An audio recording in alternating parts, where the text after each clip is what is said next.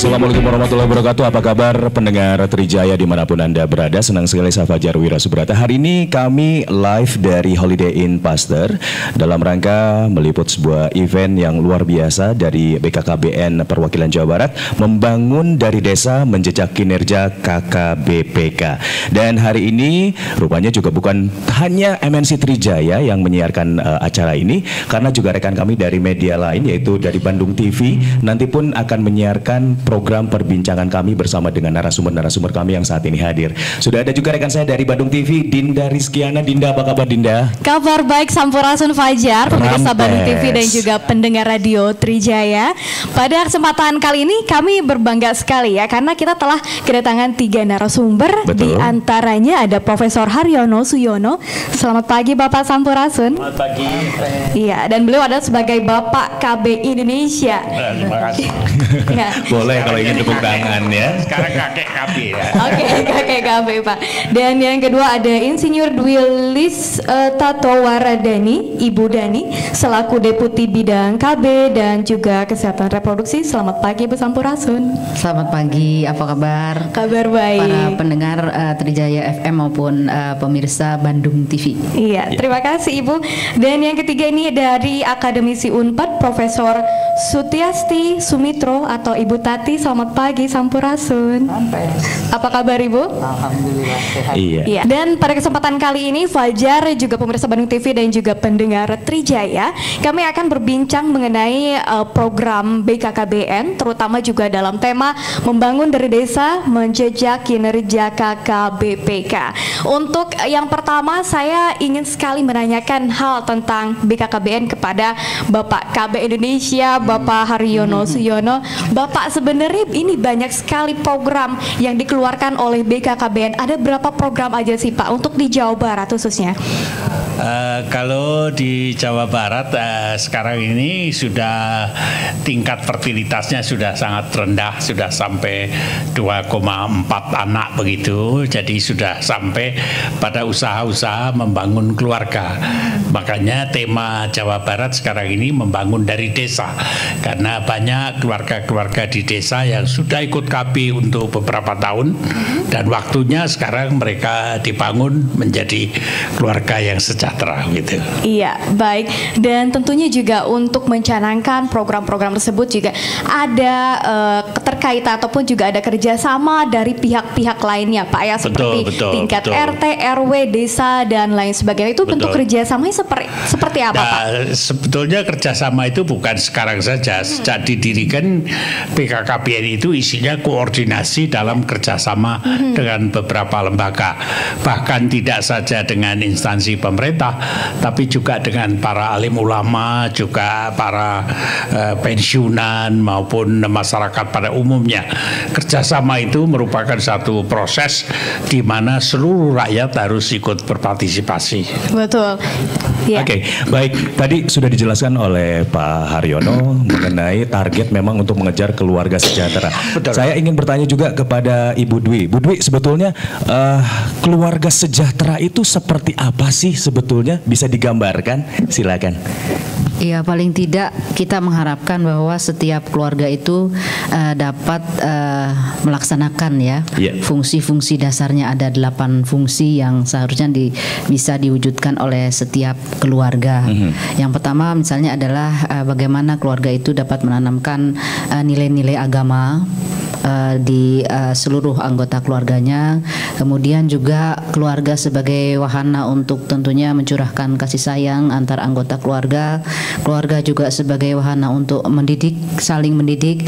Ya, kemudian juga tentunya keluarga memiliki fungsi eh, reproduksi ya untuk eh, bagaimana melanjutkan eh, keturunan. Keluarga juga memiliki fungsi bagaimana eh, melaksanakan fungsi sosial budaya bermasyarakat, menjunjung nilai-nilai tinggi budaya.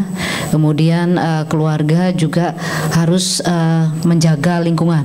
Tentunya ya kita tahu bahwa keprihatinan kita terhadap berbagai malfungsi uh, lingkungan. Karena bukan uh, siapa lagi kalau bukan keluarga yang uh, menjaganya. Itu kurang lebih yang fungsi-fungsi uh, keluarga itu uh, yang dapat dikatakan bahwa keluarga itu uh, sejahtera.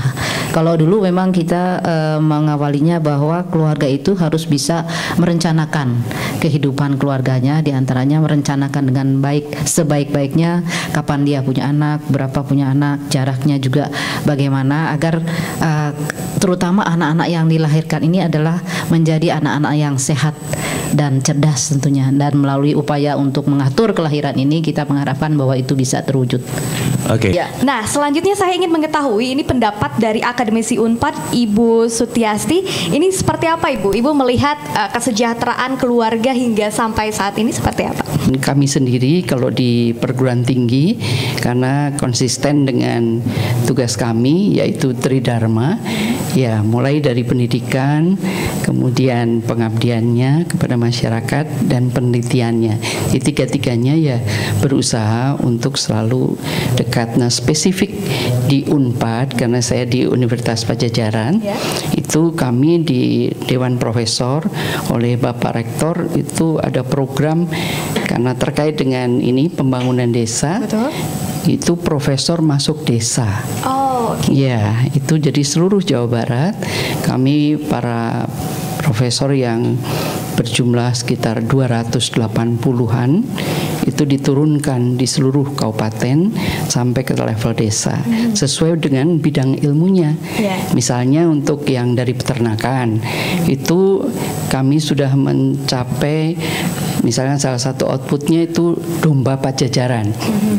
Itu diturunkan di dari DNA-nya sehingga menciptakan domba yang bisa 40 kilo warnanya putih semua kulitnya. Itu disebarkan. Sehingga kemarin ini waktu Idul Adha yang dipotong tuh domba pajajaran ya. gitu. ya. Apa lagi Pak? Eh, interupsi, ada juga universitas yang tidak saja menurunkan profesornya, tetapi eh, profesornya itu menjadi konsultan tetap dari desa, eh, sehingga profesor itu kalau liburan malam minggu hari ada prei itu dia langsung ke desa karena desa itu menjadi binaannya dan profesor itu bertanggung jawab seakan-akan sebagai konsultan sukarelawan. Hmm. Jadi turunnya itu tidak saja turun sewaktu-waktu, tapi hampir turun tetap dan nama baiknya dipertaruhkan yeah. di iya. desa itu. Oke. Okay. Nah, kira-kira tantangan untuk mewujudkan keluarga sejahtera saat ini harus seperti apa dibandingkan yang dulu, Pak? Silakan. Betul. Jadi eh, pada tahun-tahun 70 kita itu sifatnya memperluas jangkauan karena peserta KP mulai dari titik nol sampai akhirnya uh, melebihi angka 25-30 persen. Tapi pada tahun 80-an itu kita sudah mencapai uh, lebih dari 50 persen.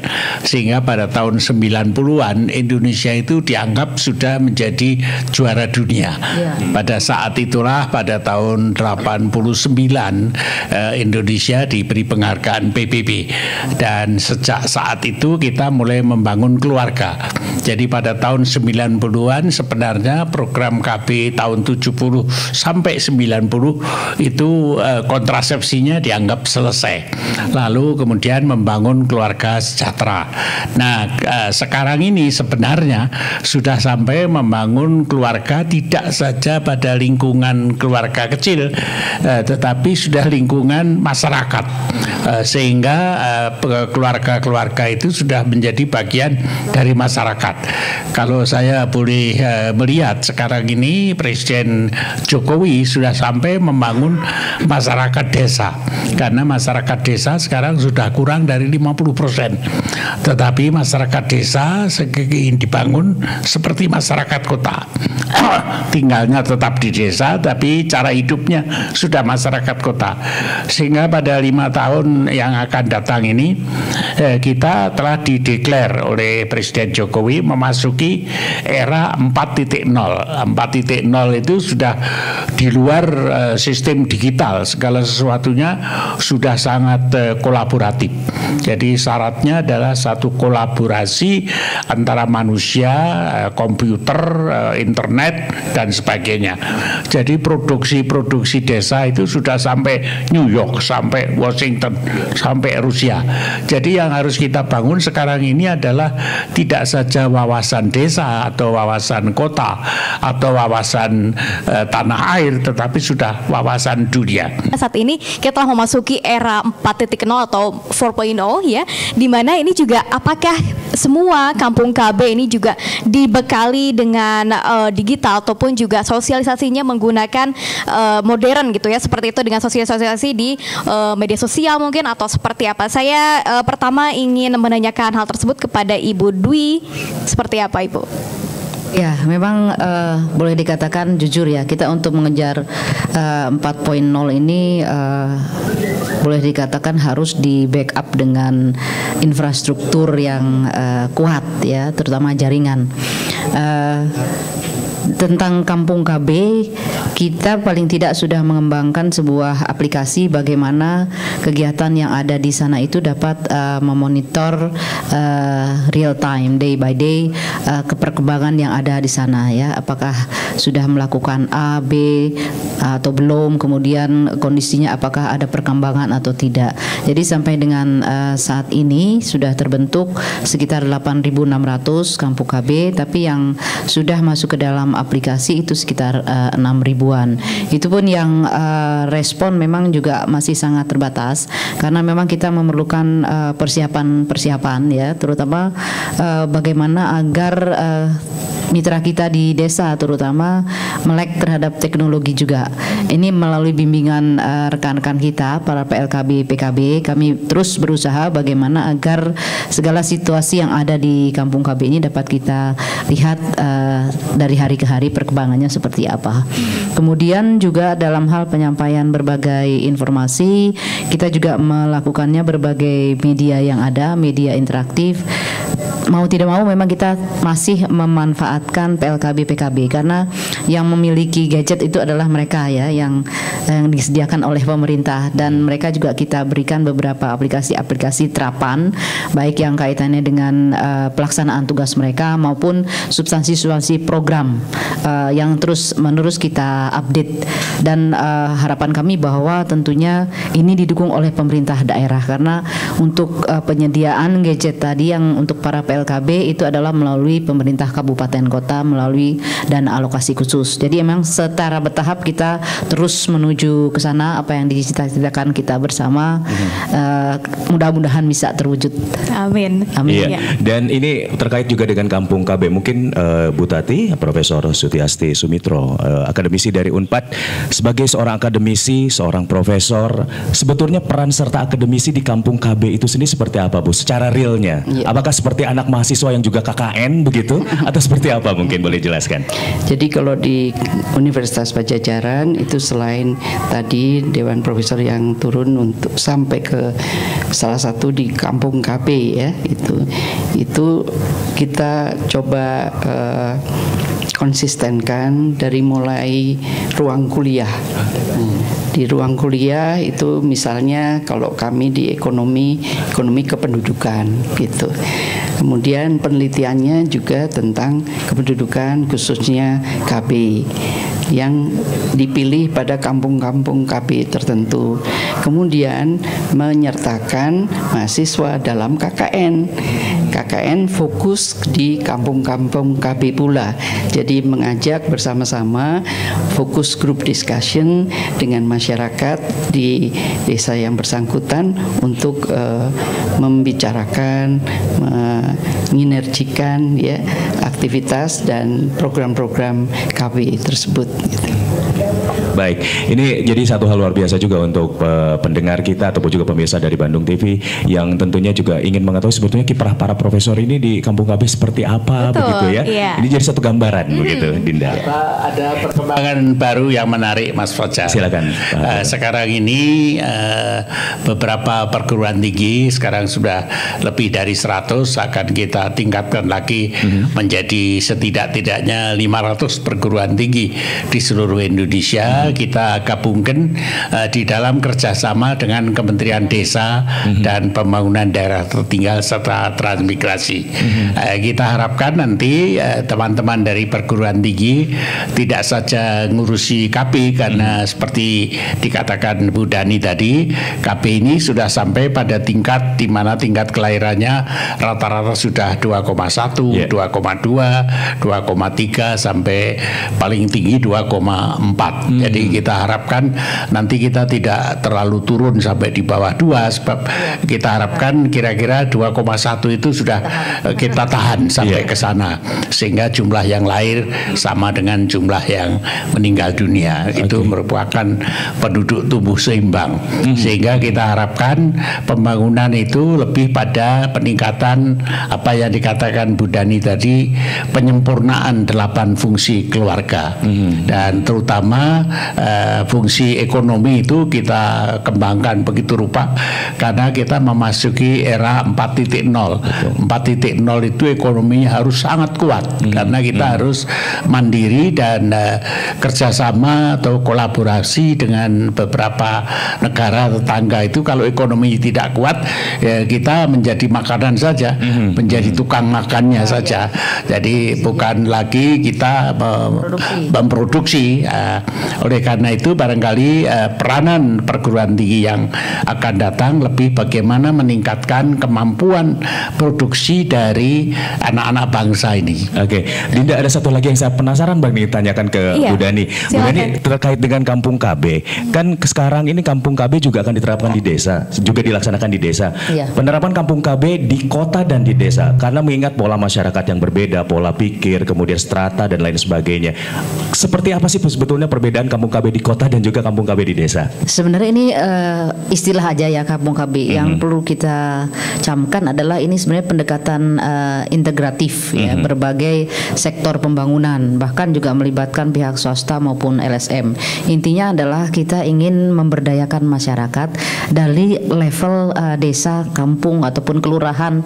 Tidak apa-apa dari mana pun ya apakah itu bernuansa eh, perkotaan ataupun perdesaan. Tapi yang jelas bahwa harus ada kemampuan dari eh, level bawah ini untuk dia bisa mengidentifikasi potensi yang dia miliki. Kemudian kita sifatnya adalah memfasilitasi gitu ya. Karena sering kali eh, program-program yang diperkenalkan secara top down dari atas itu belum tentu bisa dilaksanakan. Tapi kalau identifikasi kebutuhan itu dari bawah nah itulah yang mereka butuhkan nanti kita yang membantu secara terintegratif. Jadi sudah banyak sekali kerjasama kerjasama bahkan dari eh, Kementerian Desa yang tadi disampaikan oleh Pak Aryono juga eh, sama-sama kita saling eh, mendukung dari berbagai aspek ya. Eh, bahkan secara spesifik juga dari Kementerian Desa bersedia untuk eh, mendukung eh, updating data dari level desa. Karena kita ingin memanfaatkan data-data yang sudah disediakan oleh BKKBN melalui sebuah sistem pendataan yang rutin untuk terus dipantau real time, diupdate ya dan ini juga dimanfaatkan oleh Kementerian Desa untuk uh, keperluan yang sinergis. Jadi uh, berbagai potensi yang ada di berbagai kementerian ini kita ingin padukan, kita kerjasamakan supaya tidak ada pemborosan. Justru intinya adalah uh, saling memanfaatkan untuk uh, kepentingan masyarakat yang ada di desa. Ya. Iya. Dari total 27 kota dan kabupaten se-Jawa Barat, Ibu, apakah semua kota dan kabupaten juga harus mendapatkan kampung KB atau pelatihan kampung KB ataupun mungkin juga ada kriteria-kriteria khusus mungkin untuk mendapatkan kampung KB seperti apa? Eh, sebetulnya kita mengawali prioritas pertama adalah pada wilayah yang relatif kurang berhasil dalam pencapaian program ya. Baik itu pencapaian program eh, keluarga bencana maupun kondisi masyarakat secara umum. Jadi memang apabila di satu wilayah itu eh, terjadi katakanlah daerah legok ataupun tertinggal memang dari berbagai aspek biasanya dia tertinggal. Termasuk eh, di situ juga merupakan kantong-kantong uh, kemiskinan ya. Jadi makanya tadi Pak Haryono sampaikan pendekatannya nggak bisa hanya dari satu, harus terintegratif karena kita membangun masyarakat itu harus dari berbagai uh, sektor yang ada terutama pemberdayaan ekonomi karena dengan ekonomi ini bisa menggerakkan berbagai hal, berbagai keperluan yang dibutuhkan oleh desa sampai dengan ke level keluarga itu diawali dari uh, kemampuan ekonomi yang ada di uh, level keluarga. Jadi ini salah satu pendekatan yang sejak dahulu Pak Haryono waktu di BKKBN juga sudah di, dilakukan. Jadi kita pada saat itu saya sangat uh, belajar dari Bapak karena saya awalnya juga dari staf Bapak kemudian uh, Bapak juga sebagai guru saya, mentor saya saya mengikuti betul bahwa perbedaan uh, program KB di Indonesia lain dengan yang tempat yang lain. Jadi kita membangun uh, masyarakat itu secara terintegratif, tidak hanya uh, menyuruh orang KB misalnya, tidak, tapi justru memberdayakan ya. Waktu saya bertugas di Jawa Timur itu sinerginya sama. Jadi pemberdayaan perempuan dengan KB berjalan bersama nggak bisa hanya KB saja, tapi justru dengan adanya pemberdayaan perempuan KB-nya di sana jadi kuat gitu ya. Jadi inilah sebuah uh, sinergi pendekatan bagaimana kita merubah paradigma berpikir uh, masyarakat menuju sebuah masyarakat yang lebih maju. Iya, Pak Haryono mungkin juga bisa tanggapi ya, tadi pernyataan dari Bu Mas Fajar, eh, kampung KB itu sebenarnya awal dari kampung KS. Eh, KB itu keluarga berencana yang pengertiannya itu agak sempit pengertiannya penggunaan kontrasepsi. Makin lama kampung KB itu harus makin hilang, lalu berubah menjadi kampung KS. KS itu keluarga sejahtera. Nah, jadi eh, kalau suatu kabupaten itu misalnya kampung KB-nya makin membesar, berarti itu makin gagal KB-nya. Tapi kalau kampung KS itu makin besar, nah itu makin bagus. Eh, jadi kita harus hati-hati. Jadi kalau ada bupati yang wah kampung KB saya bertambah banyak, nah itu berarti KB-nya makin gagal. Tapi kalau kampung KS-nya makin banyak, nah itu KB adunya eh, keluarganya makin sejahtera. Jadi hati-hati nanti radio atau televisi jangan mengobarkan pembuatan kampung KB sebanyak-banyaknya jangan. Tapi pembuatan kampung KS KS sebanyak-banyaknya. Uh, Bu Tati, sebetulnya apa sih uh, strategi untuk membangun desa di zaman sekarang dari kacamata seorang akademisi? Ya, baik ya, membangun desa. Saya kira memang relevan dengan nawacitanya ya, nawacita Pak Jokowi yang mendahulukan ya pinggiran ya. Saya kira termasuk desa itu beberapa desa berada di pinggiran ya. Jadi prioritas ke, mulai dari sana yang condong aksesibilitas biasanya ya yang jauh dan kurang. Jadi saya kira juga pembangunan desa mulai dari sana lah gitu. Oke, jadi memang pembangunan desa lebih baik memang uh, di secara lebih menyeluruh mungkin ya. Yeah. Tapi di situ kan butuh juga sinergitas dari uh, apa aspek-aspek lain. Ya, yeah, saya nah. kira yang konsep yang akhir-akhir ini berkembang pentahelik ya. Nah, nah dengan pentahelik kerjasama antara akademisi, bisnismen, hmm. ya, government, ya, masyarakat, ya, Betul. ya, community itu yang perlu terus dikembangkan saya kira. Hmm. Oke, okay, baik. Iya, dan tadi sempat Ibu sampaikan juga bahwa ada uh, program profesor masuk desa Ibu ya. Program itu sudah dari kapan Ibu dicanangkan? Ya, itu dicanangkan oleh Bapak Rektor Unpad uh -huh. sejak tiga tahun yang lalu yeah. ya. Memang masih baru uh -huh. ya karena beliau juga baru yeah. menjadi rektor waktu itu dan bukan karena ini ngikutin abri masuk desa ya.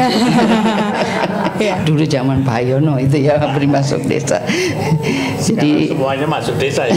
Iya meskipun baru tiga tahun tapi aktivitasnya itu dilandasi oleh penelitian yang cukup lama itu hmm. misalnya tadi domba pajajaran itu yeah. penelitiannya sudah 15 tahun yang lalu ya hmm. dari DNA-nya itu kan lama sekali untuk sampai bisa disebarkan ke masyarakat desa hmm. gitu ya. Yeah. Tentunya juga para profesor masuk desa ini uh, menyebarluaskan ilmunya ke para warga desa sesuai dengan bidangnya masing-masing. Kalau saya bidang ya. ibu sendiri di bidang kayak kami di ekonomi, ekonomi ekonomi. Jadi ekonomi ya dekat dengan aktivitas apa koperasi usaha kecil menengah ya Iya. itu membina para usaha kecil untuk makin eh, berkembang menjadi menengah dan Iya. alhamdulillah suatu saat menjadi usaha besar gitu. Iya. Di koperasi juga demikian gitu ya. Itu pada umumnya di daerah pedesaan ya. Iya, karena memang ekonomi ini sendiri menjadi tonggak utama ya Ibu Dani untuk eh, Kampung KB ini sendiri. Untuk reviewnya, Kampung KB kan sudah diadakan beberapa tahun lalu. Untuk saat ini perkembangan Kampung KB di Jawa Barat seperti apa Ibu Dani? Silakan. Ya. Eh, dari seluruh wilayah eh, di Jawa Barat 27 kabupaten kota dan eh, kecamatannya sekarang semua sudah ada kampung KB ditambah eh, juga dari prioritas tadi ya. Jadi eh, pendekatan kampung KB itu prioritasnya adalah kepada wilayah-wilayah yang memang memerlukan apa ya pendekatan khusus. Jadi memang tidak untuk semuanya. Jadi memang prioritas adalah daerah-daerah yang relatif tertinggal dari eh, sekitarnya sehingga supaya mereka bisa mengejar ketertinggalannya.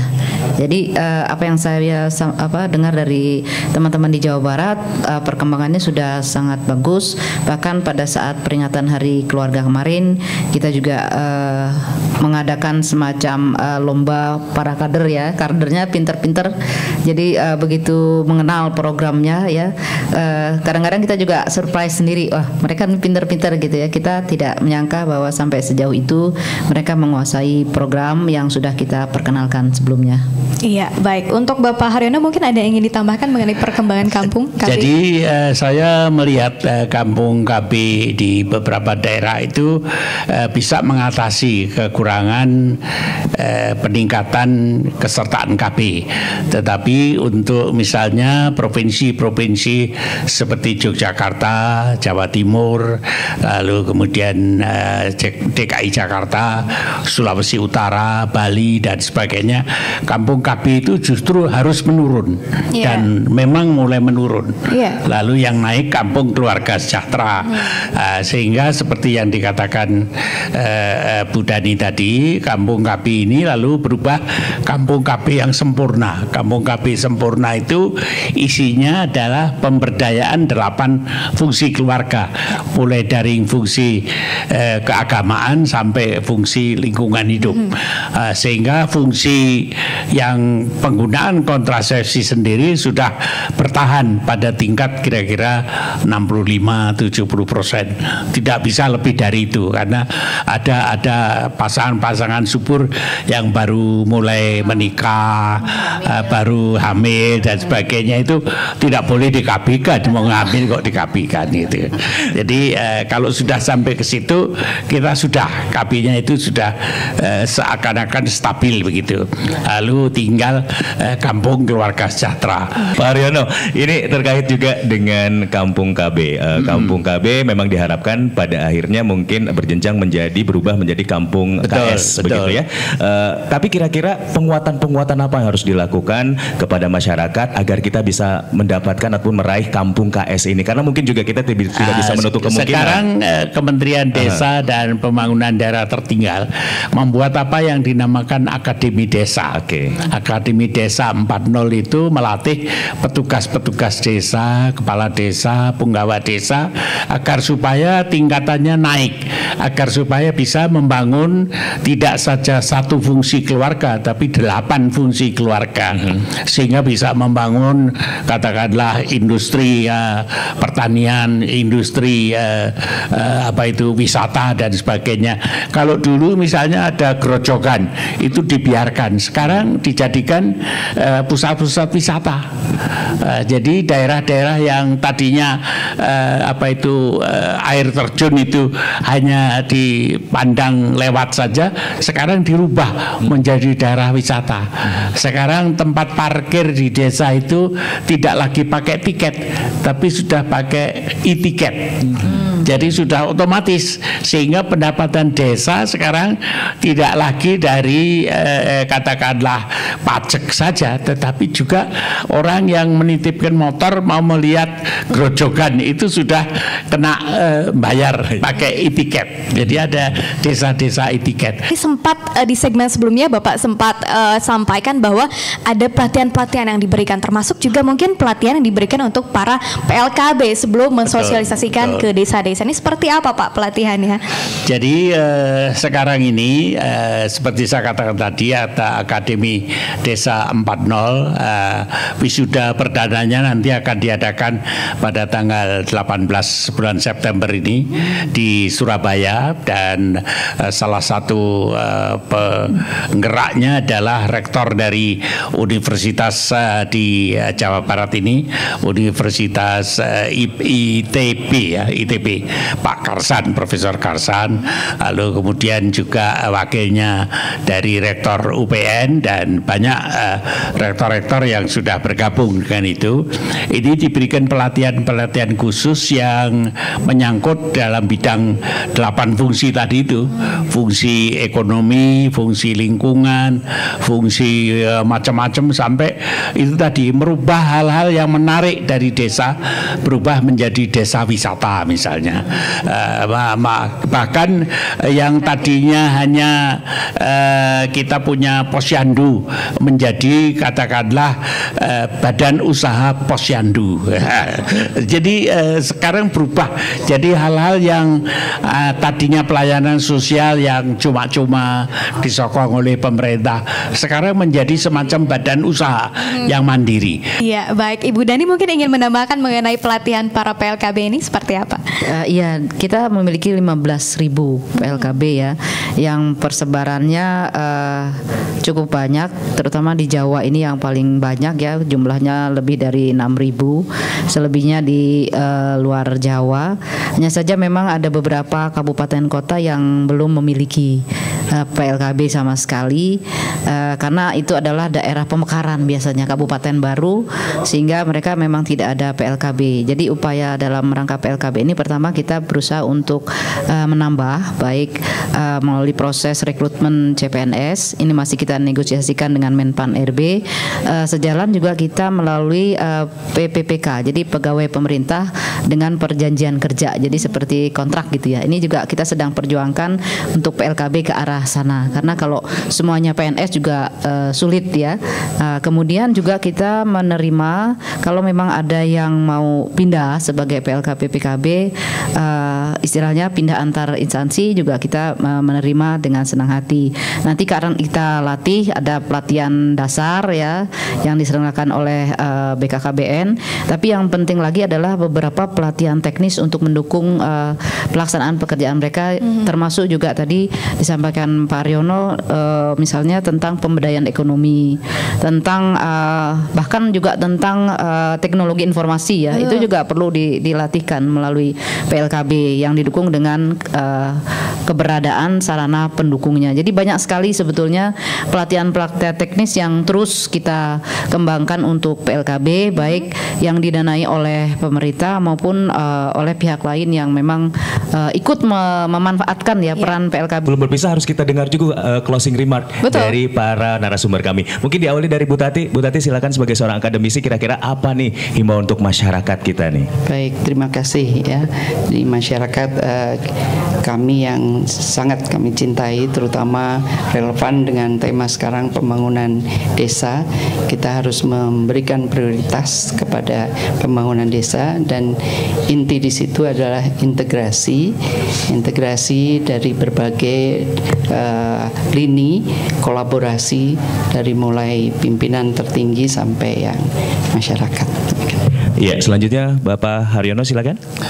Terima kasih Mas eh, eh, Fajar, eh, Mbak eh, Dinda, eh, karena saya sebagai kepala BKKBN itu eh, lebih dari 17 tahun jadi deputinya 10 tahun saya telah ikut menghasilkan jutaan aseptor yang sekarang sudah tidak lagi eh, jadi aseptor. Saya mohon bantuannya supaya menjadi eh, pelopor-pelopor pembangunan di desa agar supaya desa ini segera menjadi makmur. Sekarang sudah kakek-kakek, nenek-nenek, tetapi tetaplah eh, berumur panjang, sehat, sejahtera dan membantu pembangunan yang ada di desa, baik untuk para pasangan usia subur muda maupun mereka-mereka yang anak-anak muda generasi masa depan yang akan membangun bangsa lebih gegap gempita lagi. Mungkin Bu Dani juga silakan. Ya mungkin tadi Pak Reno menyebut lansia ya. Jadi memang pendekatan kita sekarang kepada seluruh segmen. Uh, pertama adalah uh, perempuan yang sering kali mungkin agak ditinggalkan. Padahal perempuan ini jumlahnya separuhnya dari laki-laki. Jadi melalui program pemberdayaan perempuan ini sebetulnya banyak hal yang bisa diselesaikan. Oleh karena itu tentunya melalui pendekatan yang dilakukan dari desa ini juga tentunya uh, perempuan uh, perempuan Indonesia juga dapat terangkat uh, dan bisa lebih berdaya untuk mensejahterakan keluarga dan kita juga sebentar lagi tahun 2021 masuk kepada uh, tahapan aging population karena populasi lansia kita sudah 10% nanti 2021 untuk itu juga dari desa juga kita tentunya harus menyiapkan berbagai program uh, yang relevan untuk lansia. Ya. Baik, Ibu Bapak terima kasih sekali. Terima kasih. Sukses untuk program-programnya dan tebaknya Dinda harus kita akhiri semuanya. Ya. Saya Fajar Wira Subrata dari 91.3 MNC Trija FM pamit. Dan saya Dinda Rizkiana dari Bandung TV pamit undur diri. Terima kasih atas kerjasamanya. Baik, terima kasih. Assalamualaikum warahmatullahi wabarakatuh. Ya.